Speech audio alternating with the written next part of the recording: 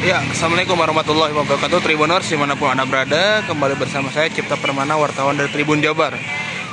Hari ini saya sedang berada di Stadion Olahraga atau Serana Olahraga Jalak Kabupaten Bandung di mana akan berlangsung kegiatan pertandingan babak perempat final dari eh, turnamen Piala Presiden tahun 2022 yang akan mempertandingkan antara tim Persib Bandung melawan tim PSS Sleman dapat kami eh, dapat anda saksikan dalam layar bahwa sejumlah petugas dari unsur kepolisian terus bersiaga di, di depan pintu masuk. Eh, pintu gerbang maksud kami akan menjadi akses masuk dari tim maupun eh, unsur eh, lainnya. Ini pintu ini yang hanya dibuka oleh pihak keamanan untuk mempermudah eh, filterisasi dari para eh, dari para pihak yang akan terlibat di dalam pertandingan ini. Selain itu juga kabar kami laporkan bahwa eh, pertandingan di Stadion eh, Sijalak Harupat ini juga eh, dipastikan tan apa sudah diputuskan berlangsung tanpa hadirnya penonton sehingga tidak akan eh, tidak ada penonton yang dapat boleh atau boleh masuk ke area stadion eh, selain orang eh, pihak-pihak yang memang mendapat izin untuk dapat me- masuk ke dalamnya. Ya, saat lagi kita akan menunggu mungkin kedatangan dari salah satu tim yang akan berlaga pada malam hari ini. Dapat kami laporkan juga saat eh, pemirsa Tribuners bahwa malam hari ini pertandingan babak eh, perempat final Piala Presiden berlangsung dal- eh, menggunakan sistem atau skema sing- eh, single match yang artinya hanya satu kali pertandingan yang untuk menentukan siapa juara. Ya, inilah tim atau bis dari tim Persib Bandung. Nah, sudah memasuki area stadion dari Sijalak Harupat ini. Ya, itulah sudah di sudah memasuki wilayah area halaman dari Stadion Sijalak Harupat di mana tim Persib Bandung telah memasuki area tersebut.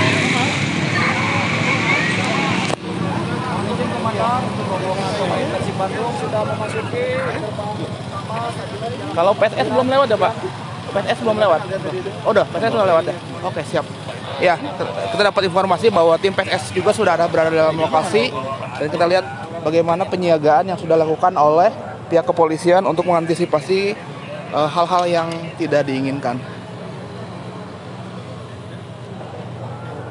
Ini area dan pintu gerbang ditutup oleh pihak kepolisian untuk mengantisipasi hadirnya eh, pihak-pihak yang tidak diizinkan untuk memasuki area stadion. Ya, kita akan coba sedikit berkeliling ya. Bagaimana situasi dari Stadion Sijalak Harupat yang akan menjadi venue pertandingan antara Persib Bandung melawan PSS Sleman di babak perempat final Piala Presiden 2022. Sekali lagi, bagi Anda yang baru bergabung, Tribuners, saya Cipta Permana melaporkan langsung dari halaman depan Stadion Sijalak Harupat, tempat akan berlangsungnya pertandingan antara Persib Bandung melawan PSS Sleman di babak perempat final Piala Indonesia 2022. Piala Presiden maksud kami, Piala Presiden 2022. Nah, sejauh ini berdasarkan pantauan dan pengamatan masih terpantau lengang dan baru saja sesaat sekitar beberapa menit yang lalu bis Persib atau rombongan tim Persib Bandung sudah memasuki area stadion. Sebelumnya tim dari PSS Sleman sudah berada di dalam stadion. Yang artinya sesaat lagi pertandingan akan dilaksanakan.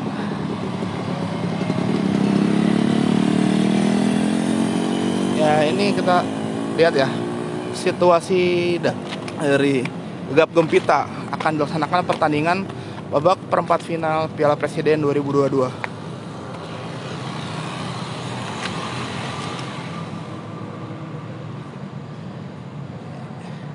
Ya, Mega Nugraha tahan sampai pemain datang Min. Baru saja uh, bis Persib Bandung sudah melintas ya.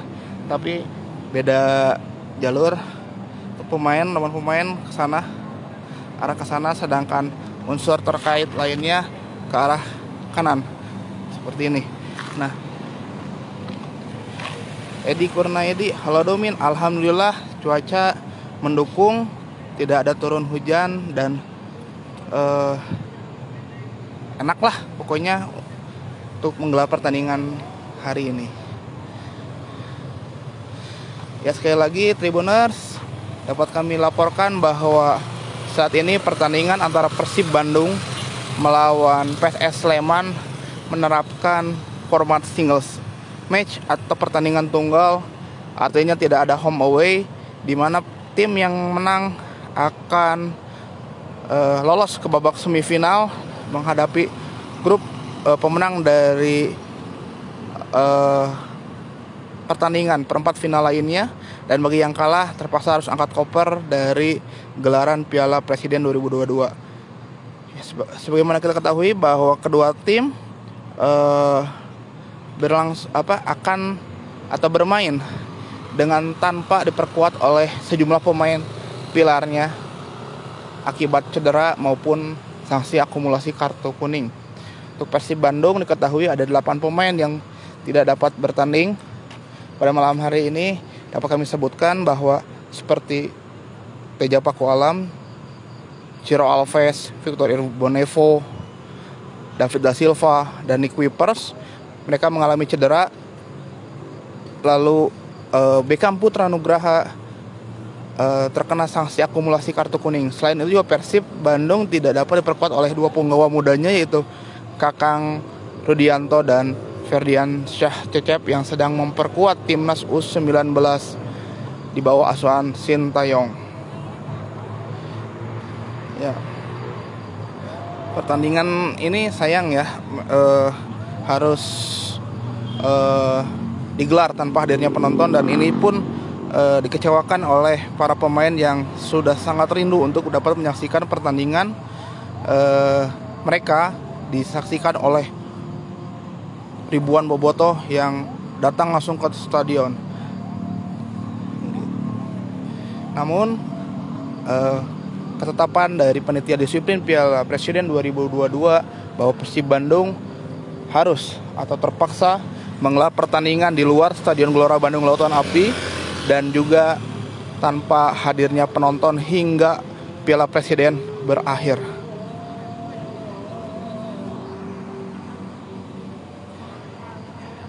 Ya, bagi uh, pemirsa atau tribunus yang sudah bergabung, uh, silahkan tulis doa dan prediksi tentunya dari pertandingan malam hari ini. Berapa-berapa? Siapakah yang akan menjuara? Persib Bandung atau PSS Sleman pada malam hari ini? Dan jangan lupa tulis uh, pencetak golnya. Jangan lupa Persib uh, malam hari ini tidak diperkuat oleh beberapa pemain pilarnya ya. Seperti Ciro Alves, David Da Silva, Tejar Paku Alam, Victor Igbonevo, Nick Kuipers, dan Beckham Putra. Silahkan tulis di kolom komentar prediksi Anda.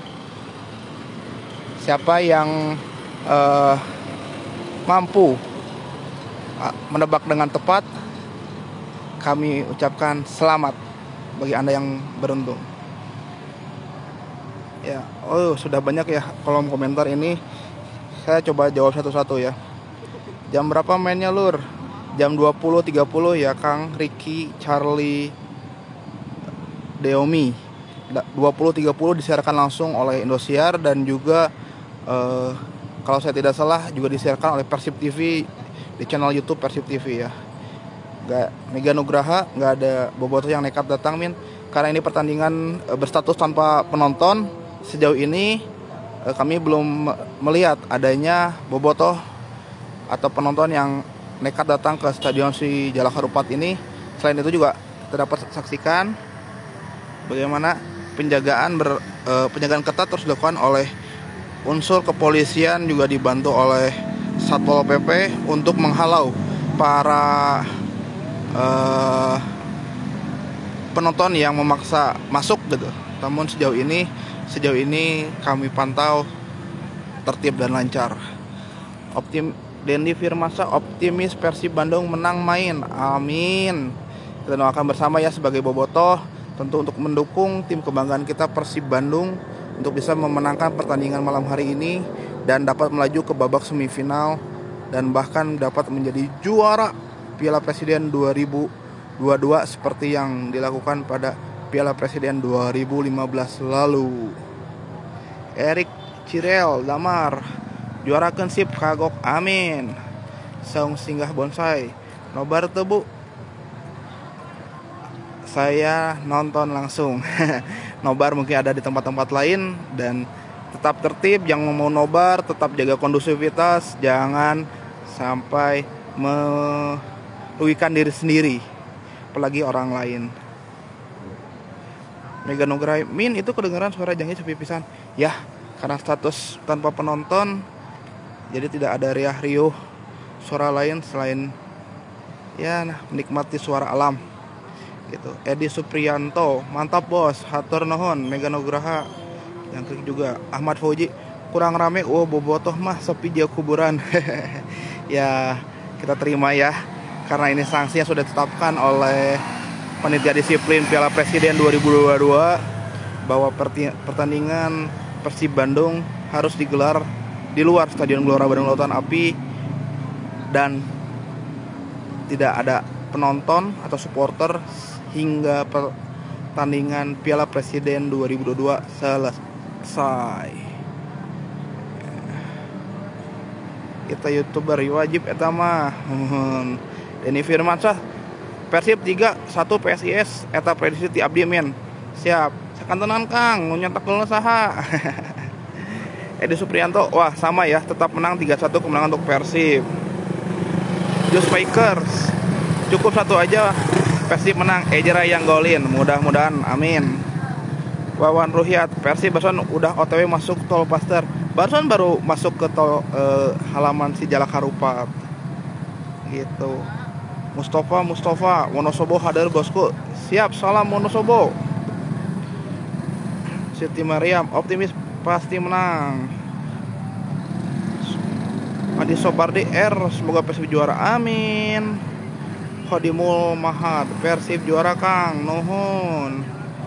Bodong Martin Persib pasti juara. Amin. Gilang Ramadan. Persib gaskan. Min dah Min ngopi sana. Oke siap. Oke bentar lagi ya.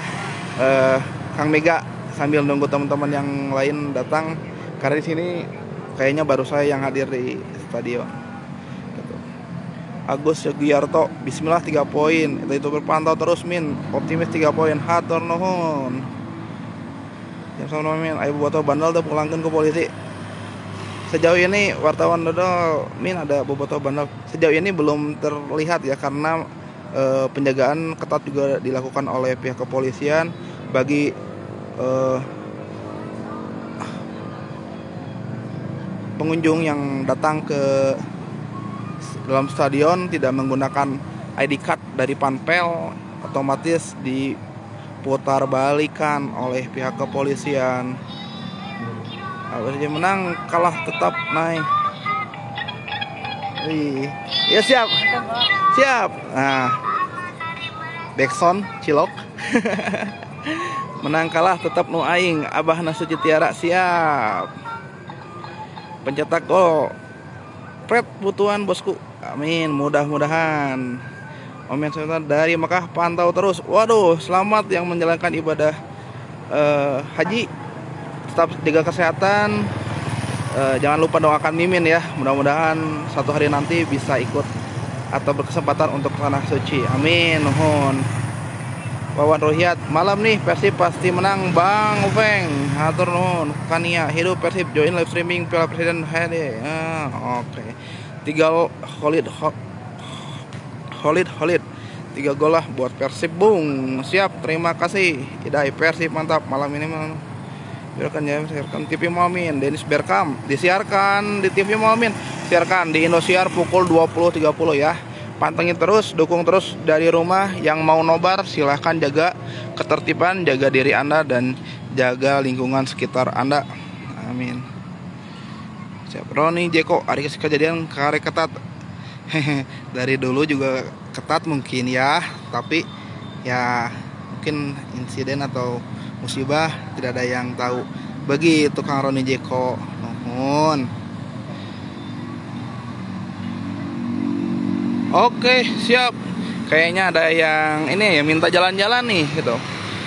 Siap lah kita coba jalan-jalan sedikit ya. Mudah-mudahan eh, tidak ada jumper atau pemutus sinyal yang ada di sekitar stadion. Biasanya sih kalau ada pertandingan bola gitu khususnya ada yang datang pejabat biasanya sinyalnya suka diputus. Coba lihat-lihat keliling stadion.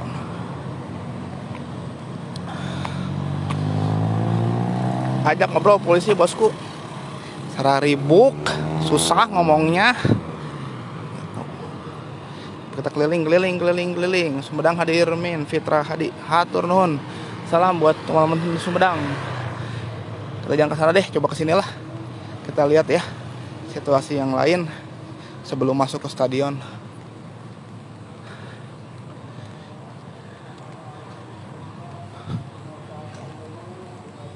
Majalaya hadir ah, hatur nuhun Majalaya. Apa Naila siap. Oh sorry. Maulana Nova Nuhun To wanito Indramayu hadir min. Siap salam Indramayu Salam Majalaya. Dukung terus Persib dari rumah. Gitu. Hari ini eh, pertandingan Persib lawan PSS Sleman di, tidak bisa dihadiri oleh penonton ya. Jadi dukung terus dari rumah Tetap jaga kondusivitas yang monobar Jaga kesehatan Dan jangan buang sampah sembarangan. Gitu Jahra Alivia di mana mang? Di stadion Sijalak Harupat oh ya sekali lagi yang baru bergabung Tribuners. Hari ini saya Cipta Permana wartawan Tribun Jabar. Laporkan langsung dari stadion Sijalak Harupat Kabupaten Bandung. Tempat akan digelarnya pertandingan antara Persib Bandung melawan PSS Sleman di babak perempat final Piala Presiden 2022 nah saya mau nunjukin ini nih di sini ada kayak training ground ya atau tempat latihan lapangan kecil yang ada di luar tadi halaman stadion Sijalak Harupat. Mungkin berdasarkan informasi bahwa lapangan ini menjadi salah satu tempat tem, uh, latihan untuk tim peserta dari Piala Dunia 2 uh, U20 yang akan berlangsung 2023 nanti. Dan ini sudah dipersiapkan ya kondisinya seperti ini. Sepertinya rumputnya rumput sintetis ya. Gitu. ada yang pernah ke sini atau pernah mencoba lapangan ini? Silahkan tulis di kolom komentar.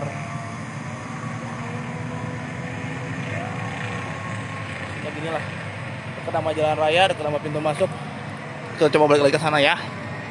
Sekali lagi uh, Anda boboto yang ada di rumah yang sudah bergabung dalam siaran Tribun Jabar silahkan tulis prediksi Anda siapa yang akan menang dalam pertandingan hari ini Persib Bandung kah atau PSS Sleman kah berapa skornya dan jangan lupa tulis siapa pencetak golnya.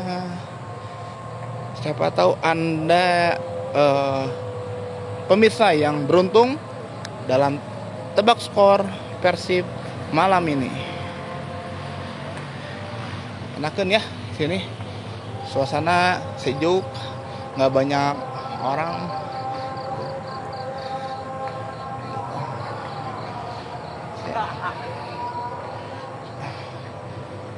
Selamat bertugas Kang. Ya, Ayo siap. Dari Tribun Jabar, dadah dulu. Ayo. Kasih. Polisinya? Istirahat dulu. Is,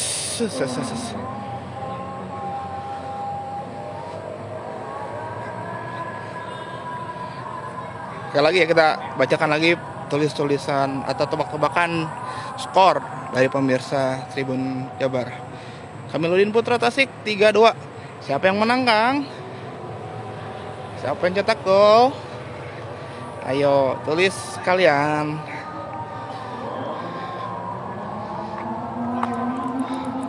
Oke. Azan Isa sudah berkumandang. Beberapa saat lagi akan kami selesaikan siaran ini. Malam Pak, Tribun Jabar Pak. Yuk, dadah dulu Pak dari Tribun Jabar. Dadah. Tuh, sama bertugas Pak. Ya. Nah, mobil tugas dukungan dari petugas terus berdatangan untuk dapat menyaksikan. Nah ini mungkin ya kalau Tribuners yang belum pernah Stadion Sejak Harupat ya seperti inilah gambaran situasinya ya. Mungkin kalau di kamera warnanya hijau ya sebenarnya warnanya krem. Efek cahaya. Gitu. hijau kayak gitu. aduh mohon maaf. Saya maju selangkah barusan. Siap. Gitu. Aduh maju ke arah sana noh. Langsung hilang sinyal jadi kita main di sini aja ya Tribuners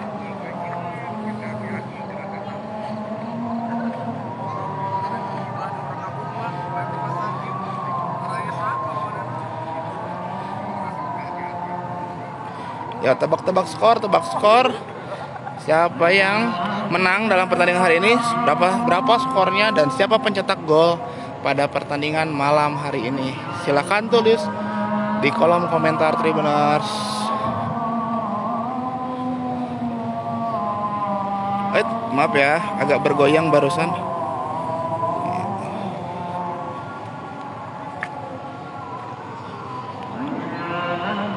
Saya coba berhenti ya, jangan sambil jalan, biar gambar nggak goyang.